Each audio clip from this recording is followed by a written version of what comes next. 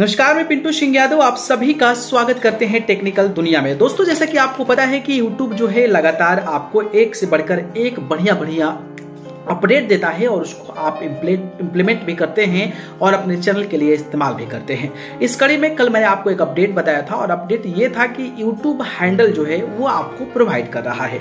जैसे कि आपके फेसबुक पर कोई यूज़र आईडी होता है इंस्टाग्राम पर यूज़र आईडी होता है, या फिर आपका ट्विटर हैंडल होता है। मान लीजिए मेरा नाम पिंटू सिंह यादव है तो मैंने अगर ट्विटर पर at the rate Pintu Singh Yadav बनाया है, या फिर मैं इंस्टाग्राम पर Pintu Singh Yadav underscore twenty ऐसे कुछ भी बनाया है तो इस तरीके का हैंडल आपको जब याद रहता है तो आप कहीं भी किसी को बताते हैं और आप अपना ट्विटर हैंडल या फिर इंस्टाग्राम हैंडल तमाम चीज़ें जो आप बताते हैं, उसके माध्यम से वो सर्च कर लेता है। और सर्च करने के बाद आसानी से आपको एक्सेस कर पाता है, क्योंकि आपको पता ही हो कि कई सारे नाम होते हैं, कई सारे नामों के नाम होते हैं, उसमें आपका कौन आइडेंटिफिकेशन है, उसको जानना बहुत ज़रूरी हो जाता है। तो इसलिए आपको एक पर्टिकुलर यूनिक हैंडल दिया जाता है, ताकि आप उस चीज़ से किसी को भी सर्च करवाना है तो आप करवा सकते हैं। और उसी तरीके से यूट्यूब ने नया जो लॉन्च किया है, वो यूट्यूब हैंडल है। तो यूट्यूब हैंडल एक्चुअली में क्या है, ये मैं आपको बता दिया। कोई भी चीज़ को आसानी से सर्च किया जा सके और एक यूनिक नेम जनरेट हो सके that is called YouTube handle अब मैं इसको कैसे इनेबल करना है, इसको भी मैंने ऑलरेडी बता दिया है। तो डिस्क्रिप्शन में लिंक डाल दूँगा, आप जाकर वहाँ से देख सकते हैं। लेकिन आज के वीडियो में मैं आपको बात करने वाला हूँ कि आखिरकार यूट्यूब हैंडल का बेनिफिट क्या है, इसका फ़ायदा क्या होने वाला है? तो चलिए शुरू करते हैं। दोस्तों, पहले नंबर पर जैसा कि आपको पता है कि जब आप YouTube चैनल बनाते हैं तो YouTube चैनल बनाते हैं तो YouTube सर्च को लाने में काफ़ी ज़्यादा डिफिकल्टी होती है।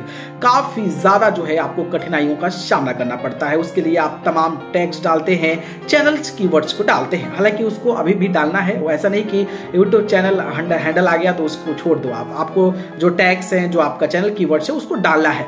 लेकिन जो यूट्यूब चैनल हैंडल का नाम डिसाइड हो जाएगा, और और उस चीज़ के बारे में आपको पता चल जाएगा और उस चीज़ से आपने यूट्यूब हैंडल को अगर क्रिएट कर लिया तो लोगों को सर्च करने में आसानी होगी। किसी को भी अपना यूट्यूब हैंडल का नाम बताइए, जैसे यूट्यूब पर डालेगा, सबसे पहले प्रायोरिटी में उस चैनल का नाम आ जाएगा। तो एक सर्चिंग के पॉइंट ऑफ़ व्यू से काफ़ी ज़्यादा बेनिफिशियल है। पहले क्या होता था कि चैनल कीवर्ड्स डालना होता था, इसके बाद आपको टैक्स डालना होता था और थोड़ा ज़्यादा वीडियो डालने के बाद इंतज़ार करना पड़ता था। तो अब जो है इंतज़ार नहीं करना पड़ेगा। अगर आपका यूनिक नेम है और उसी हैंडल से आप उस चीज़ को सर्च कर रहे हैं तो आसानी से आपको जो चैनल है, वो आसानी से आपका मिल जाएगा। तो ये पहला बेनिफिट है। दूसरे बेनिफिट की बात करता हूँ तो आपको पता ही होगा कि अगर आपने कोई इंडिविजुअल चैनल बनाया, मान लीजिए मैंने पिंटू सिंह यादव का चैनल बनाया तो पिंटू सिंह यादव के चैनल से मैंने यूट्यूब चैनल बनाया तो उसका मैंने हैंडल ले लिया एट पिंटू सिंह यादव तो ये मेरा यूनिक हो गया। अब पिंटू सिंह यादव कोई सर्च करेगा तो मेरा प्रायोरिटी में आएगा। भले ही उस नाम से कोई और जनरेट जो है जो है कर सकता है, लेकिन जो हैंडल होगा, उस हैंडल को वो कॉपी नहीं कर सकता है। तो इससे क्या होगा कि आपका जो कंटेंट है, आपका जो आ, मतलब नाम है आपका जो ब्रांड है उसको लोग कॉपी करेंगे तो उसका बेनिफिट उनको नहीं मिलेगा बल्कि उसका बेनिफिट आपको ही। मिलने वाला है। तो ये भी आपको काफ़ी ज़्यादा आसानी होगी।